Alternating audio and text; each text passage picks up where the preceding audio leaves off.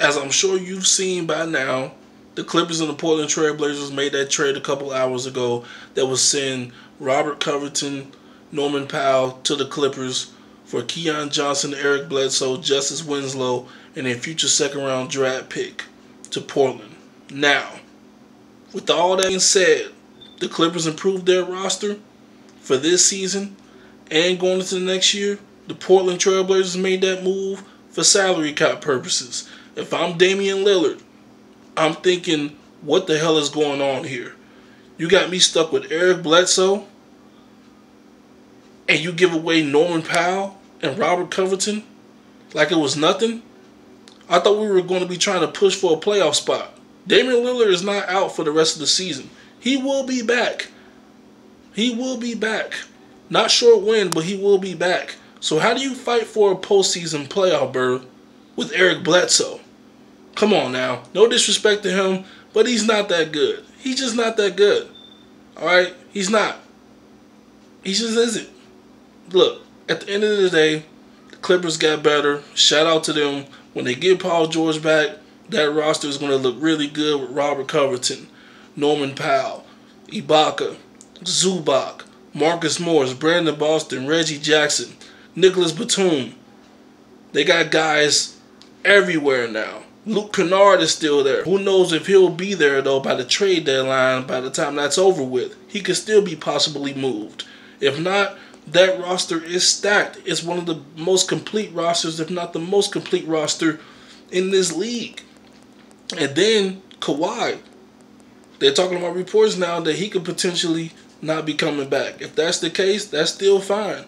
Paul George did a terrific job last year when Kawhi got hurt helped them win some playoff games, won a playoff series. Um, they can make some noise in the postseason adding Norman Powell and Robert Covington. But with all that being said, let's talk about some even bigger news.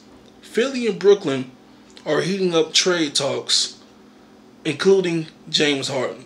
Now, Brooklyn said they wasn't going to move James Harden before the trade deadline. They was going to keep him. But now they're talking about trading him. They're open to trading him, and Philly will welcome him with open arms. No, no fucking shit, right? Because Ben Simmons, he hasn't played all year. I'm sure Ben Simmons and some others would go to Brooklyn for James Harden. It's absolutely crazy to even think about this because James Harden could have been in Philly in the first place he would have never been to Brooklyn. He could have already been in Philly with Joel Embiid. But now it's heating up. It looks like a deal could get done.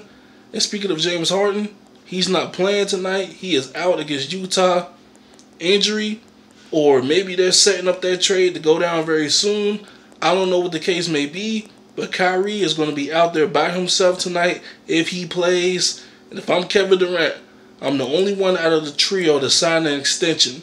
I understand that they're waiting to see if they can get more money. That's what players usually do. Look, at the end of the day, I came here because of Kyrie. He's a part timer. I helped get James Harden here. I welcomed him here. Now he's leaving. Where does that leave me? Do I stay in Brooklyn long term? Do I ask for a trade in the future? It could get real ugly for Brooklyn real fast. James Harden, Kyrie, KD, all together. Now, who knows? KD could be there by himself. There's no there's no um, guarantee that Kyrie is signing an extension with Brooklyn. There's no guarantee that he's going to stay there. Who knows?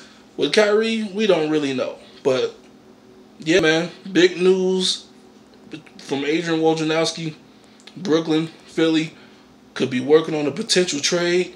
They could send James Harden to Philly. It's going down. The trade deadline is in six days.